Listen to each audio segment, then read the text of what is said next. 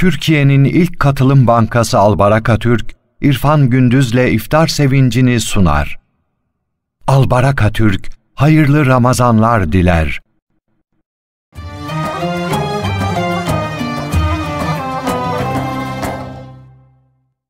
Erkam Radyomuzun ve Erkam Televizyonumuzun çok değerli izleyenleri ve dinleyenleri, böylesine güzel bir Ramazan akşamında yine iftar sevinci programında sevincimizi, duygu ve düşüncelerimizi, heyecanımızı sizlerle paylaşmak üzere huzurlarınızdayız. Her defasında olduğu gibi çok değerli bir misafirimiz var. Bugünkü misafirimiz televizyoncu, gazeteci, düşünür, yazar Erem Şentürk. Estağfurullah. Ee, şimdi Eremciğim esas e, zaten böylese bu, bu şu anda bizi iftar sofralarının başında dinleyen Evet. insanımız. Onlara esas sizin gençlere dönük bir hizmetleriniz var. O çok önemli bir iş. Allah razı olsun. Gençlik geleceğimiz bizim. Gençliği olmayanın geleceği olmaz. Ama maalesef bizde bugün Z kuşağı denilerek gençler ötekileştirilmeye çalışılıyor. Dolayısıyla biz bir de gençlere uzanan ya da gençlerin anlayacağı dili bulamadık. Kendi ilahiyatçı olarak söylüyorum ben bunu. Ya tepeden çok yüksekten konuşuyoruz, aşağılara bir türlü inemiyoruz ve onlarla frekansı bir türlü tutturamıyoruz. Ama burada gerçekten zatenizin çok güzel çalışmaları, çok değerli tespitleri var. Onu izleyiciler, izleyicilerimiz ve dinleyicilerimizle paylaşmak istiyoruz. Buyurun. Allah razı olsun. Gençlik meselesi şöyle önemli bir mesele. Birincisi bu sözünü ettiğiniz dert var ya. Hani gençlerle irtibatta olabilmek, onlara dokunabilmek, beraber bir şey konuşabilmek. Bu dertlerde aslında bunların dertlerin hiçbiri yeni değil. Çağlar boyunca yaşanmış dertler. Gençlik aslı saadet döneminde deliliğin şubesi olarak da tarif edilmiş. Ama zaten delikanlı diyorlar Evet zaten. delikanlı da işte. Tabii. E, gençlik meselesi denildiğinde onlarla irtibatta olmak Roma'nın da Roma devletinin de problemiymiş. Roma devleti bunu yazmış bile kanunlarına. Yani diyor ki işte biz dünyanın bütün tanrılarına tapan imparatorluğuz. Hiç kimsenin tanrısını reddetmeyiz. Herkesten oy sayede Roma şeyidir mesela. Fetihlerde çok başarılıdır. Senin tanrını da getirsene de koy oraya. Onu da tapıyoruz deyip kabul ediyor. Diyor ki Roma ben böyleyim diyor. Fetih yapıyorum. Tanrılarla bile anlaşabiliyorum. Gençlerle anlaşamıyorum diyor. Ya diyor ki dünyanın bütün tanrılarıyla anlaşıyorum, gençlerle anlaşamıyorum diyor. Yani Roma'da bile kayda geçmiş bir problemden bahsediyoruz. Daha öncesinde Sümerler'de görüyoruz. Tarih boyunca gençlerle böyle sanki bir irtibat problemi durumu varmış. Peki o zaman ne yapacağız? Bir, bu zaten hep böyle deyip pes edebiliriz. Ya da ya bu çözülmeyen kadim bir problemmiş deyip e, yeise kapılabiliriz. Ya da Aleyhisselatü Vesselam'ın gittiği yoldan gidebiliriz. Aleyhisselatü Vesselam'ın gittiği yoldan gittiğimizde ne yapıyor? Çocuklarla konuşurken dizlerinin üstüne kadar yere inmesi. Hatta bir Yahudinin Aleyhisselatü Vesselam Efendimiz'de ben onun peygamber olduğunu beni zor inandırdılar. Çünkü onu her gördüğümde dizlerinin üstündeydi. Sonra öğrendim meğerse sadece çocuklarla öyleymiş diye notu var mesela. Ya dizlerinin üstünde çocuklarla konuşuyor. Ne yapmaya çalışıyor Aleyhisselatü Vesselam? Neden Enes bin Malik Hazretleri'ni bir yere gönderdiğinde o oyuna takılıyor. Sonra gelip onu arkadaşlarıyla oyun oynarken seyrediyor ve hiç sesini çıkartmıyor. Bekliyor, bekliyor. Oyunu bitsin diye Enes bin Malik Hazretleri'nin. O niye çocuk çünkü? Onun oyun oynamasını, oyununun bitmesini bekliyor. Ne yapmaya çalışıyor? Her seferinde aynı şey. Seninle aynı yerdeyim.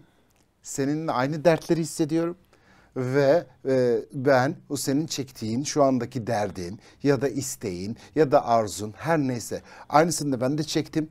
Haklısın anlıyorum bekliyorum hadi birlikte çözelim.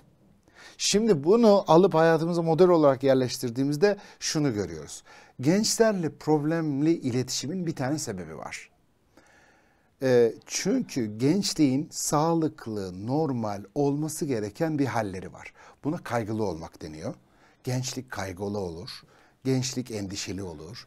Gençlik gelecekten de endişe duyar. Gençlik kendini gerçekleştirmek ister. Gençlik kendini arar.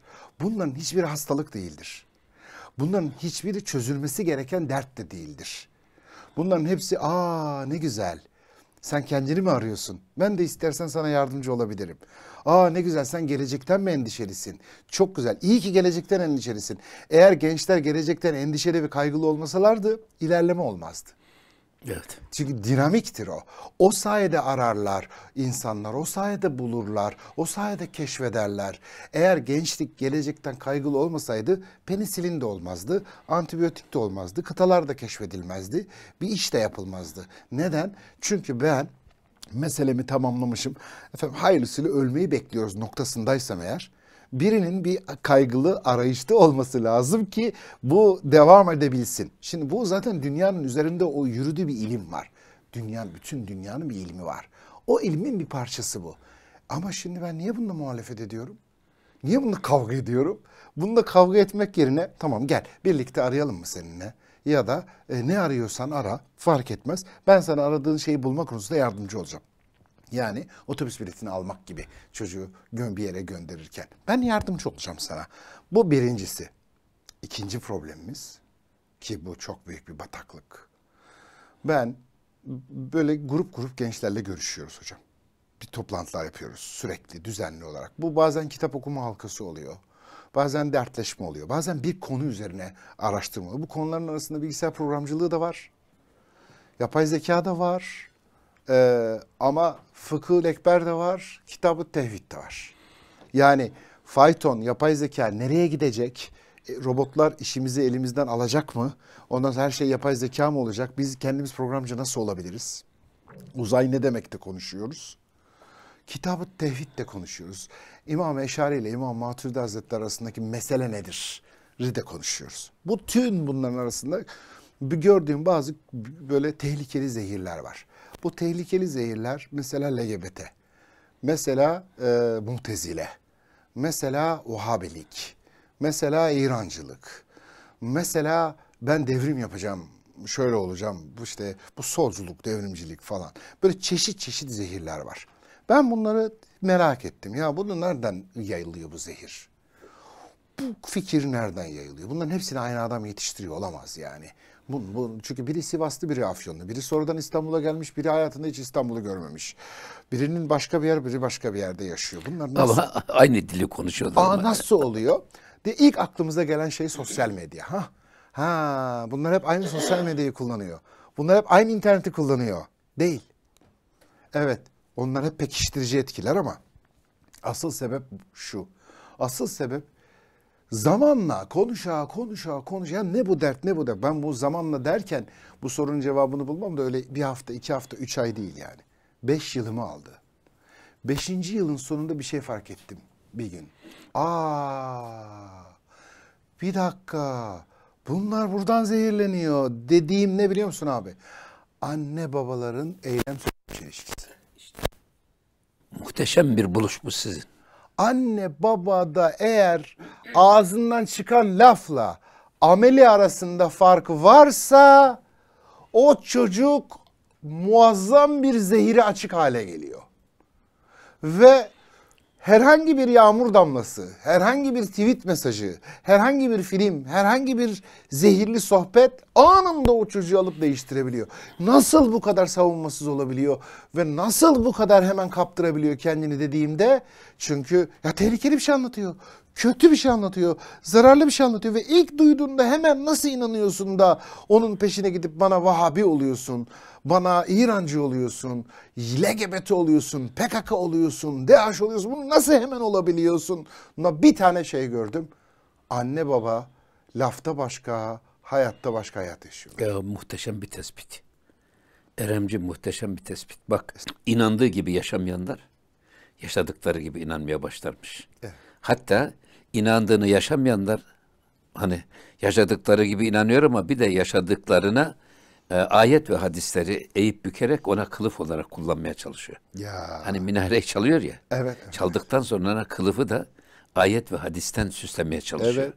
Dolayısıyla yani bu çok önemli bir mühim bir tespit. Şu şu mübarek iftar saatinde bana göre dinleyiciler ve izleyicilerimizin bu konuda her birisi aile reisidir, ailedir, annedir, babadır. Çocuklarıyla iletişiminde mutlaka dikkat edin, etmeleri gereken en önemli konu budur. Evet. Sonra zamanla şunu fark ettik. Çocuk gençlerle iletişimde, evdeki çocuklarla da iletişimde, gençlerle de iletişimde veya kitle halindeki gençlerle iletişimde fark etmez. Beyazıt Bestami Hazretleri'nin söylediği gibi diyor ki insanın iki dili vardır. Biri çok yalancıdır. Söz dili yalancı, hal dili dürüst. İnsanın iki dili vardır, biri çok yalancıdır derken şunu fark ettik. Hakikaten Bestami Hazretleri'nin de dikkatini çektiği hal dilinden başka hiçbir iletişim dilimiz yok gençlerle. Gençler bütün dünyayla, bütün evrenle, kainatla, bütün çevreleriyle, anneleriyle, babalarıyla, arkadaşlarıyla, hocalarıyla herkesle hal dilinde iletişime giriyor. Ben bir baktım ki gençleri yoldan çıkartanlar, gençleri zehirleyenler, gençleri oyalayanlar, gençleri kendi içinde kapatanlar, hal diliyle yaklaşanlar. Ya şimdi burada öyle bir yaraya parmak bastık. Babalarla bak, anneler de hep söz diliyle. Şimdi bak, burada bak bizde ilmi hal. Dinin halinin ilmi bak. Kalenin değil. Evet. Sözelini anlatırsın. Ama esas hal diliyle konuşmak Hal var. diliyle. Bunu Ebu'l-Huda Es-Sayyadi Hazretleri Risale-i Sırrül Hal diye bir risale yazmış. O da Peygamber Efendimiz ahvalini, duygularını ibadet yaparken mesela namaz kılarken hissettiklerini Ya bak e, söz, sözlü tarafını değil Hisset. ashab-ı kiramına nasıl aktarmış buna kafa yormuş. evet. Ebu'l-Huda Efendi Hazretleri ve Sırrül Hal diye de bir risale yazmış. Muhteşem bir Eserin, şey. Risale'nin adı ne? Risale-i Sırrül Hal, Sırrül Hal. Sırrül Hal. Evet. Tamam çok güzel. Ben bir daha soracağım. Kalbime işlesin diye. Estağfurullah. Ben bir daha soracağım. Bu benim aklımda kalsın diye. Ben bir daha soracağım. Ona hal olabileyim diye. Evet. Eserin adı ne? Risale-i Sırrül Hal. Sırrül Hal. Halin sırrı. Değil mi? Evet. Bitti. Bu, bu. Hal meselesi her şeydir. Her şey. O çok güzel bir şey. E, zaten bizim e, halimizden anlamayan sözümüzden, kalimizden bir şey anlamaz diyorlar zaten. Ya. O yüzden o hal diliyle Hal yaklaşmak. dili. Evet. Çünkü e, hakikaten insanlar kendimizi düşünelim. Hani e, nerede o eski Ramazanlar? Nerede o eski bayramlar? Nerede o eski zamanlar? Nerede bizim gençliğimizdeki, çocukluğumuzdaki çocukluk dünyası? Tamam. Bu, bu cümleyi kurdunuz mu? Kurdunuz. Bu cümleyi daha önce sizin dedeniz de kurmuştu. Ama bu cümleyi dedenizin dedesi de kuruyordu. Onun dedesi de kuruyordu. Allah alem bu Adem Aleyhisselam'dan beri devam eden bir cümle olabilir. Evet. Peki problem nerede? Ne oluyor? Sakatlık ne? Su, bu kadar çok mu derin değişiyor dünya? Şu ana kadar çoktan batmış olmamız lazım. Değişen bir şey yok. Dünya kendi ilmi üzerinde devam ediyor. Peki ne değişti? Şu değişti. Biz hatırlarken hislerimizi hatırlıyoruz. Çünkü insanlar ne konuşulduğunu değil ne hissettiğini hatırlarlar. Bir film sahnesini bana anlatın desem diyalogları asla anlatmazsınız. En etkilendiğiniz film sahnesi neydi anlatın dediğimde herkes bana şeyi anlatır. O sahneyi izlerken ne hissettiğini hatırlatıyor, anlatıyor. Hiç kimse sahne anlatmıyor aslında. Tabii. Bana en etkilendiğin olay ne anlat dediğimde ben anlat insanları dinlerim. Ondan sonra da gençlere diyorum ki bak dikkat ettiniz mi? Anlatan kişi bize ne anlattı? O orada konuşulanları anlatmadı. Oradaki olayları da anlatmadı. Hep ne hissettiğini anlattı. Bu Ramazan'da pide kuyruğuna girerdik, mis gibi kokardı. Hmm, dan başla. İlk çocuğum olmuştu, kucağıma almıştım. İlk cihadım, ilk seferim, ilk mücadelem, ilk evladım, ilk dişim. Ne anlatıyorsan anlat dünyada. Hepsi çok güzel. İnsanın ilk cihadı da çok güzel. Allah nasip etsin. İnsanın Amin. ilk seferi de çok güzeldir. Tabii. Allah nasip etsin. Bu muazzam bir histir bunlar. İlk evlat, ilk cihat. Bunlar çok güzel şeylerdir. Ama ya da ilk izlediğin film, ilk gördüğün yer, ilk gördüğün manzara her neyse. Herkes ne hissettiğini anlatır. Bütün mesele hissetmektir. Sırrül halde neyin peşine koşulmuş? Aleyhisselatü Vesselam hep ne hissettiğini anlatmış. Sırrül halde o hisleri almış, onları sıraya dizmiş, onları bize aktarmaya çalışmış. Ben de diyorum ki evlatla konuşurken, gençlerle konuşurken, nesille konuşurken söz dilinden daha çok hal diliyle konuşmamız lazım. Yani şişko bir diyetisyenin sözünü kimse dinlemez. Yani 150 kilo olmuş bir diyetisyen bana zayıflama nasihat ederse bu çok inandırıcı olmaz. Olmaz, Ya da evet. elinde ağzında sigara bunu içme bu zararlı diye anlatanın söylediği söz yalandan bile değersizdir. Yanlış bir yol. Hiç kalbe tesir eder mi o? Her anne babada da problem şu. Ben diyor o kadar anlattım o kadar söyledim. Problem şurada efendim diyorum. Sadece söylemişsiniz. Evet anlattığınızdan eminim. Evet iyi niyetle anlattığınızdan da eminim. Ve bunu tekrar tekrar anlattığınızdan da eminim. Ama problem şu. Sadece söylemişsiniz. Neden? Ne demek sadece söylemek? Siz çocuğunuza aman oğlum, aman kızım sakın yalan söyleme. Müslüman hata yapabilir ama yalan söylemez diye öğrettiniz değil mi? Yalanın ne kadar büyük bir kötü bir şey olduğunu öğrettiniz değil mi? Evet. Ve ama hala söylüyor mu? Söylüyor. Neden söylüyor? Söyleyeyim mi? Neden? Endüs artık son dönemleri e, Ferdinand gelecek, Kurtuba dağılacak, ah, bütün medeniyet bitecek ve gavur büyük zarar verecek. Ama tam artık onun sonuna gelinmiş. Birkaç sene sonra olaylar gerçekleşecek. Müslüman erkekler bir arada toplanmışlar, plan yapacaklar. Bir kadını çağırmışlar. Demişler ki sen kapının önünde dur. Bu İspanyollarda kastederek kafirler gelirse de ki içeride kadınlar var, erkekler var deme. Ben diyor yapamam diyor kadın. Niye? Diyor ki benim evde küçük bir çocuğum var yalan söyleyemem diyor. Neden? O anne biliyor. Evde veya dışarıda yalan söylediğinde çocuğunda yalancı yetiştirirsin. Ama sen şimdi evde o çocuk 2 yaşında, 3 yaşında, 5 yaşında anlamaz diye telefonu kapattın görümcenin arkasından konuştun. Telefonu kapattın kaynananın arkasından konuştun. Telefonu kapattın komşunun dedikodusunu yaptın. Hiç öyle yapma, öyle yapmasın. Bak Eremciğim öyle yapmasın. Ee, bizim kültürümüzde Hazreti İsa Aleyhisselam'ın Evet. babası dünyaya gelişinin gerekçeleri anlatılır. Evet, evet. evet. Ulema. Çok da açık anlatılır. He, Nedir? şimdi orada şey bellidir. orada esas diyor ki bir Hazreti İsa e, bu e, Beni İsrail'e peygamber olarak gelmiş. Evet. Firavun dönemine gelmiş yani Evet, esasında. evet. Bu Firavun döneminde baba putlaştırılmış. Niye? Baba bir gücün sembolü, bir de paranın sembolü. O yüzden baba putlaştırılmış. Ee, o baba öldüğü zaman babanın öldüğü yer e, mabet yapılıyor, tavaf ediliyor. İşte bu piramitler o günün eseridir. Ama e, bir de Arap helvadan puta tapıp da aç kaldığı zaman yerken Yahudi altından buzağı heykeline tapıyor. Bak putu bile altın.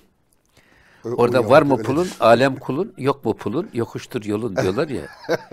bir de haklılığın ölçüsü. Zayıfsan ezil gitsin. Yani güçlü her zaman haklıdır.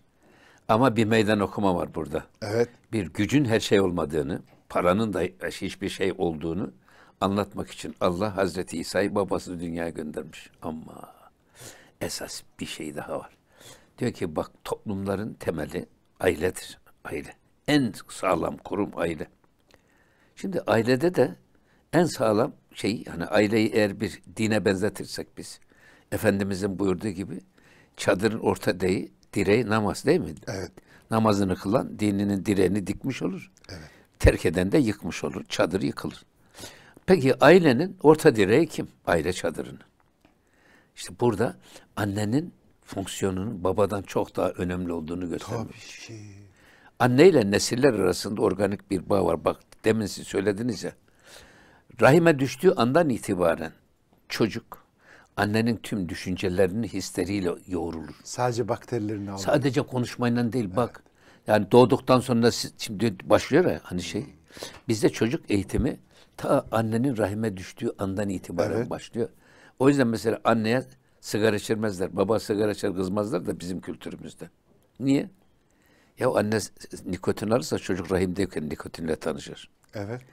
Efendim e, işte baba alkol alır. Haram tamam amenna. Kimse ona kızmaz da anne bir fincan bile içirmezler. Neden?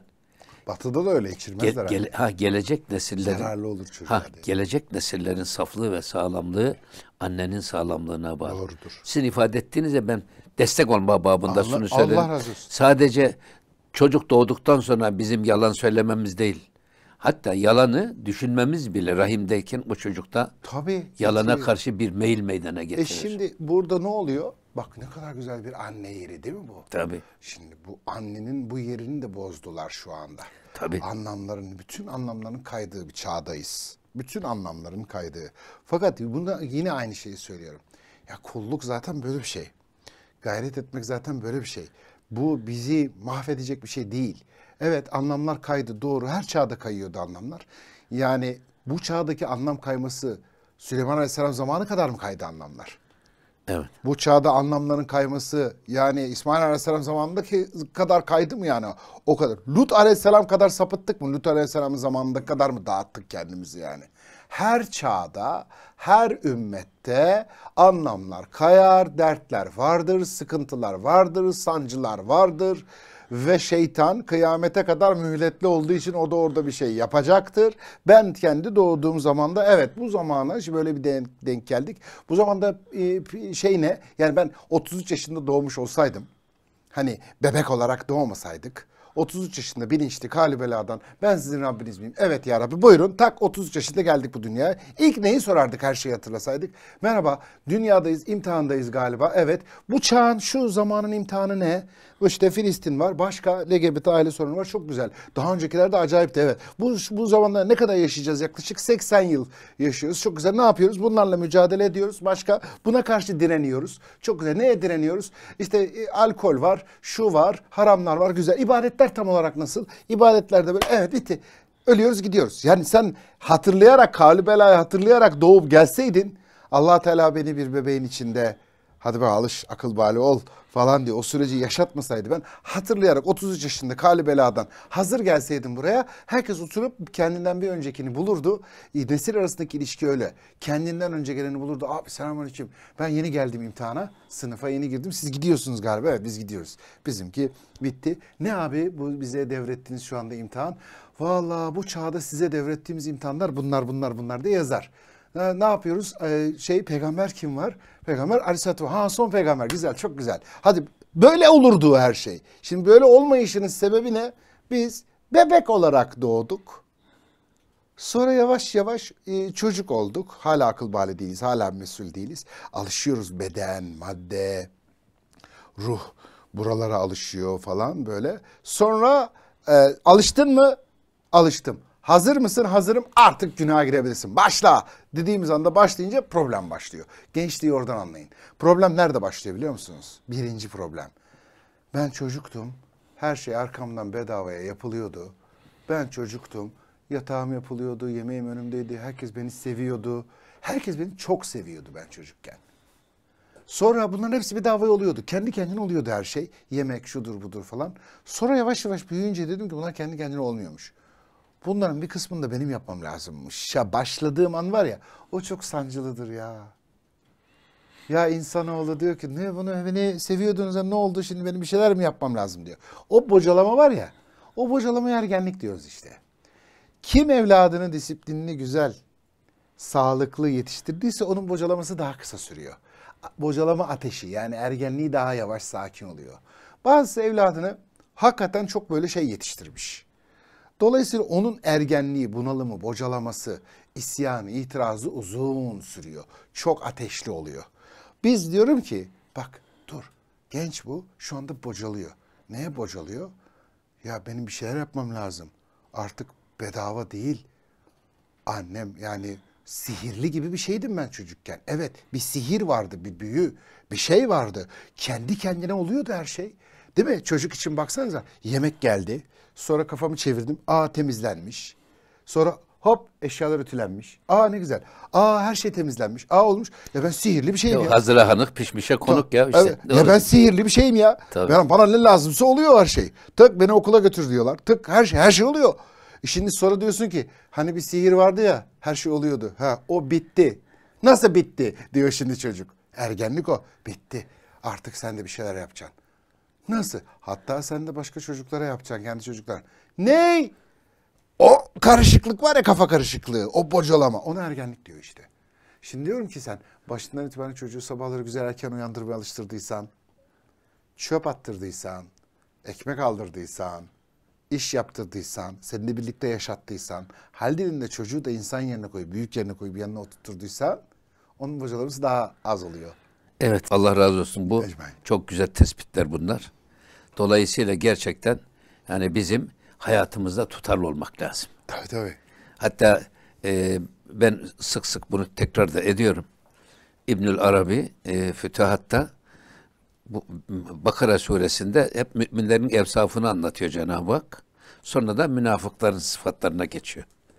Orada Estaizu billah ellezine yaktaune ma emarallahu bihi en yusale buyuruyor. Orayı bir güzel yapıyor ki İbnül Arabi yorum yapıyor. Diyor ki münafıklar diyor Allah'ın birleştirilmesini bir arada olmasını emrettiğini Arasını ayırırlar onlar diyor. Bak koparırlar arasını. ne o? Cenab-ı Hak imanla ameli salihi, ameli bir arada zikretmiş. Bu kadar. İnnellezine amenu ve amilu. İkisi. Ama münafık ne yapar? Ya inanır yaşamaz ya da yaşar inanmaz. Tamam. İşte bu iki, bu ikircilikten, bu çift şahsiyet, şahsiyetlilikten ki bir anlamda bana göre tevhid de budur esasında. Bu da bir tevhiddir. Asıl tevhid budur. Evet. Dolayısıyla sizin söylediğiniz yani bu e, gelecek nesillerin ve gençlerin sağlam bir kulvarda yürümeler için en büyük sorumluluk ailede başlıyor. Anne babanın hal dilindedir. Evet.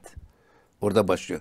O yüzden biz gene buradan devam edelim ama ben biraz da e, şu Ramazan ayındayız, oruçluyuz. Empati duygularımızın daha fazla hassas olması gereken bir günlerdeyiz.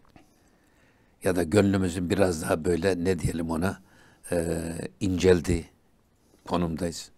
Ama bütün bunlara rağmen İslam dünyasında müthiş bir vurdum duymazlık var. Müthiş bir aymazlık var. Sanki üstümüze ölü toprağa serpilmiş. Gazze'de açlıktan ölen çocuklar var, Ya. insanlar var. Ve bu insanlar ağaç kabuğunu kemirerek yaşamaya çalışıyorlar. Kirli suları içerek susuzluğunu gidermeye çalışıyorlar. Şimdi böyle bir dünyada o Gazze'li e, kardeşlerimizin acısını yüreğimizde duymamak e, nasıl bir şey ben onu anlayamıyorum. Yani orada adam elektriği kesmiş bu e, Gazze kasabı küvezde çocuklar çürümüş. Taze o cenin çocuklar çürümüş. Yavrular alnından vurulmuş. Anne kucağında ondan feryat ediyor. Efendim e, bo- e, fosfor bombalarıyla yanmış bedenler. E, narkozsuz efendim hatta yaralar e, canlı canlı dikiliyor. Burada biz olsak ne olurdu? Burada empati ben böyle kuruyorum. Ya oradaki çocuklar benim çocuğum olabilirdi. Biz o durum- durumda olabilirdik. Peki onların e, dertlerine biz nasıl deva oluruz? Hiç olmazsa bu şu aymazlıktan, vurdum duymazlıktan, gafletten nasıl sıyrılırız? Biraz da İki- bunu sormak istedim. İki mesele tarih boyunca hep başımızın belası oldu. Ee, insan evladının. Birinci mesele kendini yetersiz hissetmendir. Müslümana aşağılık kompleksi aşılanır. Ya benim bunlarla savaşmaya param yetmez. Benim bunlarla savaşmaya silahım yetmez. Uluslararası dengeler buna izin vermez. Ben bunu yapmaya kalktım başım belaya sokarım. Ondan daha büyük dayak yerim. Ondan daha büyük öldürülürüm diye. Ee, bu aşağılık kompleksini şeytan e, insanlara kendini yetersiz hissetme konusunda bunu evi, evi de böyle yıkar. Şeytan devleti de böyle yıkar. Evleri de yuvayı da bununla dağıtır. Devletleri de bununla dağıtır. Bir karı koca arasında ben yetersizim, ben çirkinim, beni karım sevmiyor, beni kocam sevmiyor, beni kocam beğenmiyor, ben zaten hiçbir şey yetmiyorum ha dedin mi o girdaba bir girdin mi orada döne döne aşağılık kompleksi hastalık boşanmaya kadar gider o. Ev öyle yıkılır, yuva öyle yıkılır. Devlet de böyle yıkılıyor. Millet de bir millet de böyle yıkılıyor. Biz yetersiziz, aç kalırız, paramız yok. Mahvoluruz, bizi döverler, uluslararası bilmem ne olurlar. Hepsi birleşirler. Tam sırası değil, şimdi değil durumu. Bunun sebebi ne? Bunun sebebi şu. Başta konuştuk ya hal dili meselesi. Biz ağzımızla bir şey söylüyoruz da onu kalbe indiremiyoruz. Herkese sorsam bütün Müslümanlara, bütün Müslümanlar bize der ki e, gayret bizden netice Allah'tan. Tamam böyle amel ediyor musun peki? Ha yok bunu sadece söylüyoruz. Ama böyle amel etmiyoruz. Nereden biliyoruz? Gazze konuşurken böyle amel etmediğin hemen çıkıyor. Hal dilinde konuyu kendinden zannetmen zaten böyle amel etmediğini gösteriyor. İyi de bir zafer olacaksa bu zaferi sen yapmayacaktın ki. Bir dakika. Nasıl? Hani sonuçlar Allah'a aitti ya. Ha, biz ne yapacaktık? Unuttum ben. Hatırlatalım. Biz şunu yapacaktık. Sadece gayret edecektik. Öyle mi? Tabii. Biz sadece fiili duaya geçecektik. Hani dua ediyoruz ya Gazze'li kardeşlerimiz için. Şimdi onun için fiiliyata da geçmemiz gerekiyor. Amel etmemiz gerekiyor. Bir hamle yapmamız gerekiyor. Sonra sonrasını sormayacaktık yani. Ha pardon. Sonrasını sormayacaktık değil mi? Tam soran olacak. Bak gene soruyu soruyorsun. Bak gene soruyu sor. Problem şu. Kalbe inmemiş o. Gayret bizden, netice Allah'tan, prensibi ağızda durmuş, söz dilinde, kalbe bir türlü inmemiş. Bu kalbe indiğinde sorun olacaksa olacak bana ne? Sonrası Allah'a ait deyip hamle yapabilecek olsaydık yaptırmıyor. Birinci sebep niye yaptırmıyor? Aşağılık kompleksi. İkinci sebep, ikinci sebep şu. E, ümmetlerin imtihanlarında herkesin kendini derdine düşme durumu var ya. E, sen bir fert olarak kendi derdine düşüp başkalarının derdini yok saydığın andan itibaren aslında ümmetliği yok saymış oluyorsun. Yani diyorsun ki ümmetin derdi o, benim derdim değil derken aslında ümmet derdi senin derdin oluyordu ve sen bir fert olarak ümmetin bir parçası oluyordun ya. Buradan çıkmışsın. Diyorsun- Ayırmışsın. Evet. Sonra diyorsun ki işte ya benim kendi emekli maaşım. Benim kendi ya ev kiraları kaç para oldu sen biliyor musun? Ya biliyorum. İşte sen biliyor musun hayat ne kadar zor. Marketler ateş pahası. Çocuğu okula göndereceğiz bir tane problem. Bizimkinin ne olup ne olmayacağı belli değil. Zaten iş başımdan aşmış. Ya da biraz daha büyük bir adama sorduğun zaman aynı şeyi ya market kaç para oldu, emekli maaşım kaç para olacak bana bunlardan konuş diyen adamı siyasetçi yaptığın zaman cari açık kaç para senin haberin var mı? Biz şu kadar cari açığımız var, bu kadar bilmem neyimiz var diyor. Bak herkes oturmuş kendisini küçük küçük küçük küçük böyle halifeler var bir sürü. Ee, herkes halife olmuş. Herkeste bir takım ilahi özellikler de var hepimizde.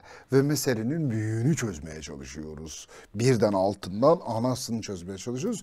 Üçüncü tuzağımız da büyük resim tuzağı.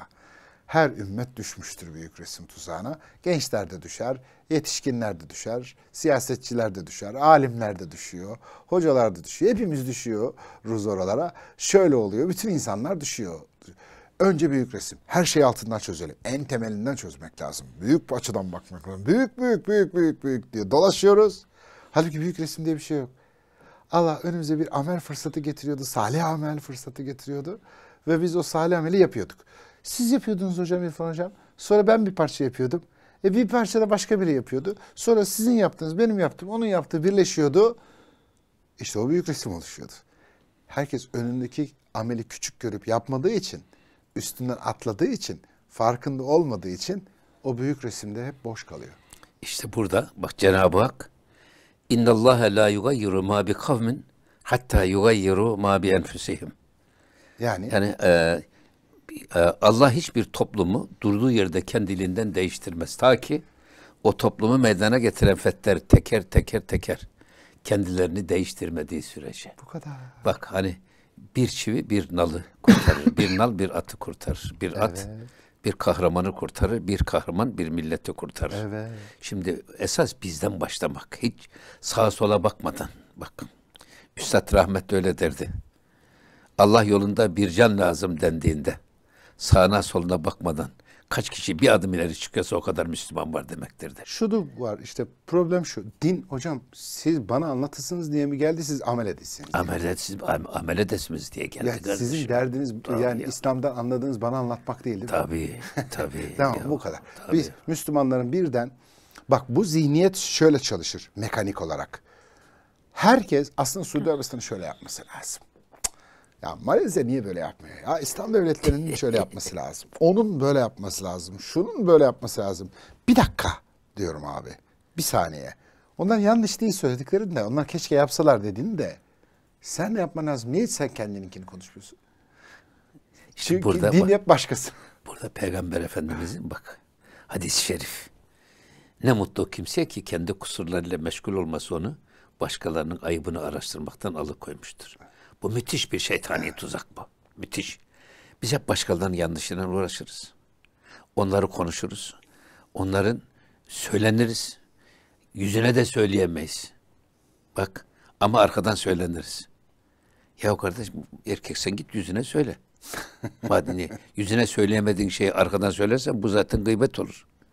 Ama burada şeytani ve nefsani bir tuzak var. Bizi başkalarıyla uğraştırarak kendimizi bize unutturuyor. Evet. Ve bizim yanlışlarımız kar topu gibi büyüyerek sonra bizi de altına alıp ezip gidiyor. Yapılabilir mi Gazze'liler için bir sürü şey ferdi olarak? Ya, Oho neler neler yapılır. neler- neler- Yapanlar yapıyor şu Tabii, anda. tabii. Ben görüyorum. Evet. Ee, farkındayım. Allah razı olsun. Ee, ben bir kişi tanıyorum. Bir kişi, bir insan, fert. Böyle arkasında devlet, vakıf, dernek falan da yok. Ben söyleyeyim adını vermek çok ayıp olur o kişiye şimdi ondan izin almadan. Herhangi bir devlet kadar büyük fayda işler yapıyor şu anda Gazze'de. Evet. Evet. Yani ben hani bugün itibariyle söylüyorum. Evet. Ortalama bir devlet kadar büyük bir iş yapıyor Gazze'de. Bir kişi. Evet. Ben biliyorum ne yaptığını da. Tabii. Yapmak isteyen yapar. Hiçbir şey yapamazsan dua ediyorsun, anlatıyorsun, ediyorsun falan. Ama bir de Ama o da dua dua eller kalıncalanmış kardeşim. Bak, bu, bu, bu sadece bu sözlü duada değil. Artık sizin hal dili diyorsunuz ya. Fiili Bak, duadır. ha, fiili dua. E, kavli duadan artık seyfi duaya doğru geçmek. Ya, iş- Ama burada ne var? Biz tasavvufta da böyle. E, sizin o çok güzel tespitiniz var. Dilden söylenen nasihatler kulaktan içeri girmez, kulaktan aşağı düşer. Evet. Gider. Ama gönülden söylerseniz kulaktan içeriye girer, insanın kalbine de yerleşir, iliğine kadar da işler. şey gibidir bu. Ee, en önemlisi benim mesela Gazze ile ilgili ya da Filistin davası ile ilgili yıllardır anlattığım bir şey var. Hep aynı şeye dikkat çekiyorum. Hep aynı şeyi tekrar ediyorum. 20 senedir aynı şeyi söylüyorum. Gazze Filistin davası bir bütündür. Filistin devlet olarak da bir bütündür, dava olarak da bütündür. Gazze ayrı, Batı Şeria ayrı, Kudüs ayrı ayrı dertler değildir. Şimdi bunlar benim imtihanım. Ben bu imtihanda nerede durduğum, ne kadar para harcadığım, ne kadar zaman harcadığım, ne kadar fedakarlık yaptığım, kimin arkasında durduğum, kimin yanında durduğum, kiminle birlikte olduğum meselelerinden yargılanacağım ben. Ben ondan sonra bu yargılanma sırasında Allah beni buradan hesaba çekecek. Bu konuda, bu konu üzerine. Ben burada kendi hesabımı nasıl veririm, ne yapabilirim diye dertlenirken burada şeytan beni şöyle kazıklıyor. Sen kendini bırak. Sen yapacağını yaptın. Bak bu yapmadı diyor. Ha bak bu daha az yapmış. Bu bir şey yapmamış. Ben kendimi bırakıyorum. O az yapanla uğraşıyorum. Kötü yapanla uğraşıyorum. Sonra burada yaptığım bir iki bir şey varsa onu da çöpe attım. Sonra burada yapacak olanın da yapmasını engelledim. Kendim bir şey yapacaktım. Kendi kendimi de engelledim. İmtihanı kaybettim. Yani biri büyük resim arıyorsa büyük resmi kralı kendi içimizde. Büyüğü, büyük resmin büyüğü kendi içimizde. Efendimiz niye böyle buyurmuş? İşte şimdi e, bak küçük cihattan büyük cihada döndük. Esas e, Allah'la kul arasına giren perdeler ne yerler ne gökler ne de bunların arasındaki olan şeyler değil. İçimizdeki perdelerdir, içimizdeki engellerdir. Ülfet. Ülfet en büyük perdedir. Tabii esas bunlardan kurtulmak. Dolayısıyla insanın kendi kendisine hakim olması. Buradan size bir soru soracağım. Şimdi sizin bu tedbiratül ilahiye okutuyorsunuz. Bu Tedbiratül ilahiye fil memleketil insaniye. Ee, ben çok önemsediğim ve defalarca da okuduğum bir kitap ama şeyden okudum ben. Ahmet Avni Konuk'tan. Ahmet Avdi konuktan okunur. Ondan okudum. Fakat ben şöyle anladım kitabın isminden ve İbnül Arabi'nin şeysini bildiğim için ne diyelim ona dünyasını. Ee, orada her insanın bedenini bir e, memlekete benzetiyor bir ülkeye. İnsanın bu beden ülkesinde Allah'ın iradesini, Cenab-ı Hakk'ın emir ve yasaklarını iktidar yapmasının yolları. Evet. Dolayısıyla burada insanın kendi kendisini yöneten, kendi iradesine kendisi hakim olan, ne şeytanın ne nefsin sponsorluğuna kendisini terk etmeyen bir insan olma meselesinde. İrade. Biraz da bunu konuşsak. Evet. Şimdi hem Ha, devlet... irade eğitimi diyelim. Evet her şey diyeyim. Tedbirat ilahiye yani çıkışı itibariyle de bugün oturduğu konum itibariyle de Müslümanların elinde Platon'un devletine karşı elimizdeki tek büyük eserdir. İlktir ve tektir. Yani. Evet. De elbette beraberinde süre verdi ve beraberinde siyasetname vardır. Bu bir dairedir. Toplamda İslam'ın devlet anlayışı, Müslümanların devlet modeli, devlet idare şeklini dokuz temel eserde toplayabiliriz. Ama hepsi döner dolaşır şey İmam Serahsi'ye bağlanır bu arada. Şimdi e, bu tedbirat-ı ilahiye çalışırken de, tedbirat-ı ilahiye okurken de hep gördüğümüz şey şudur. Bir irade vardır. O irade kimin iradesidir bunu iyi anlayalım. O kimi nasıl iktidar yaparız? İktidar olduğumuzda da kendi irademizde iktidar olduğumuzda da sorumluluğumuz ne? Devlet olarak iktidar olduğumuzda da sorumluluğumuz nenin? Daireleri çiziliyor. Şimdi burada bir şey daha var. Demiş, Seraksi'ye dayanır dediniz Evet. ya. Şimdi bu itikat demiş İmam Seraksi. İtikat. İtikat ukde kökünden türetilmiş. Doğru. Akt. Akt. Akt etmek. Söz vermek, bağlamak demektir. Anlaşmak. Bağlanmak Kendi demektir. aramızda bağlanmak. Bağlanmak. Aslında itikat ukde düğüm. Düğüm çalmaktır. Neye düğüm çalmak? Ya Rabbi bundan böyle ben kendi canımın istediği gibi değil, senin iradene göre yaşayacağım. Kendimi artık bağlıyorum demektir. Çok güzel. İtikat. Ve bu itikat dışarıdan olmaz. Olmaz. Yani ya biz kendi kendimizi bağlamamız lazım işte. Bu çok önemli bir iş. İman orada başlıyor. zaten. Tabii oradan başlıyor iman. İmanın baş, giriş yeri orası. yani. Evet. Şimdi burada iradeyi iktidar yapmak ama kendi irademizi iktidar yapmak ve bunu Allah'ın iradesini getirip iktidara koymakta en büyük elimizdeki gücü birkaç tane güç görüyoruz.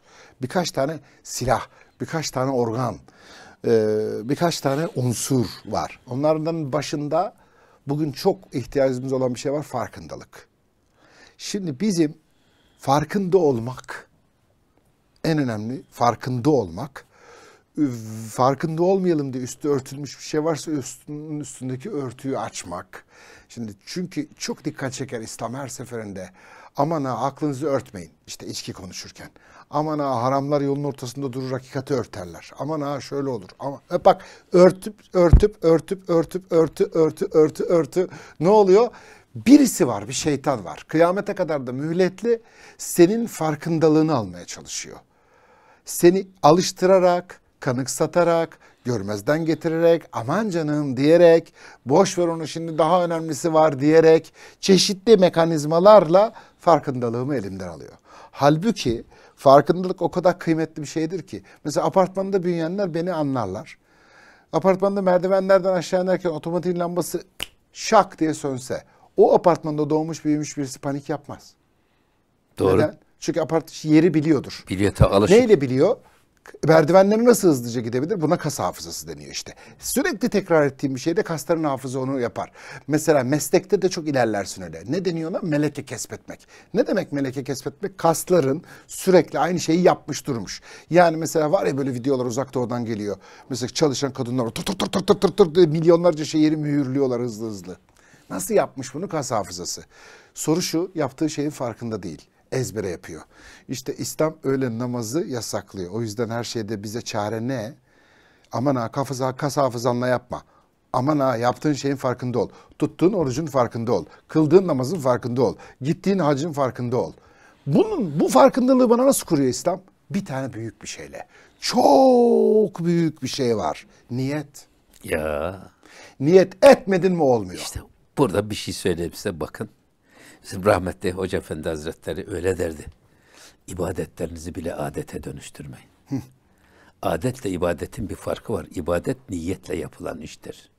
Tedbirat illahi Eğer, dedi değil mi? eğer, iba- Devlet niyettir eğer diyor. ibadeti siz adete dönüştürürseniz mekanik olarak namaz kılarsınız ama kalıbın namazda ama kalbin, aklın dağlarda da bayırlarda dolaşıp durur.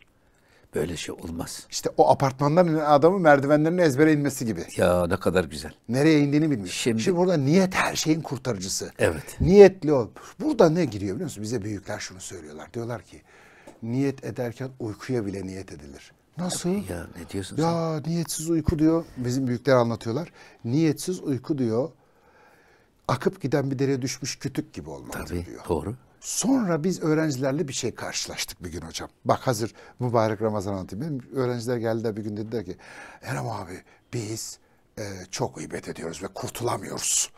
Acayip zevkli sürekli de yapıyoruz. Ne yapacağız ne yapacağız? Biz bir çare bulduk. Dedim bundan sonra her toplandığınızda niyet edin. Neye? Bismillahirrahmanirrahim. Niyet ettim Allah rızası için arkadaşlarımla buluşmaya diye. Ama bunu yapın dedim içinizden. Hakikaten abi çay kahve fark etmez. Her buluşma için Bismillahirrahmanirrahim niyet ettim Allah rızası için arkadaşlarımla buluşmaya dediler. Abi 40. toplantıdan sonra gıybet kalktı. Niye? Ya Allah rızası için toplandığın yerde gıybeti nasıl yapacaksın? Niyet ederek gıybet yapılır mı? Şimdi Eremciğim bir sözümüzü noktalayalım. Süremizin sonuna geldik ama Hakkınızı yalnız helal burada sizin söyledi yok sen helal et hakkın esas. Burada çok önemli İbrahim Ethem Hazretleri hanımından hanımı şey getiriyor yani bir ya bir iğneplik getir de diyor. Herhalde düğmesini mi dikecek ne? Ee, sonra bir ara dalıyorlar. Ee, bu sefer e, hanım getiriyor kendiliğinden. Yok diyor daha niyet etmedim diyor. İğne ipliği almak için. Çok güzel. Ona, ona niyet etmem lazım önce diyor. Yani insanın var ya her attığı adımı, her söylediği sözü bilerek söylemesi. Bilerek adım atması, bilerek bakması, hatta bilerek duyması çok güzel bir şey. Allah razı olsun. Çok Allah güzel. hepinizden razı olsun. Yani iş- gerçekten hayat niyetten ibarettir. Erkam Radyomuzun ve Erkam Televizyonumuzun çok e, güzel dinleyicileri ve izleyicileri. Erem Şentürk Bey'le çok tatlı. Efendim gerçekten esprili, güzel bir sohbet yaptık. Bana göre ben kendim çok ders aldım. İnşallah dinleyicilerimiz ve izleyicilerimiz de istifade etmiştir. Ama bir başka güzel Ramazan akşamında, bir güzel iftar sofrasında, iftar sevincinde buluşmak üzere hepinizi Allah'a emanet ediyoruz. Kalın sağlıcakla.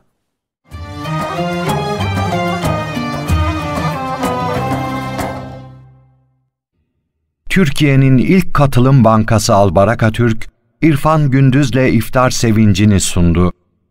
Albaraka Türk, hayırlı Ramazanlar diler.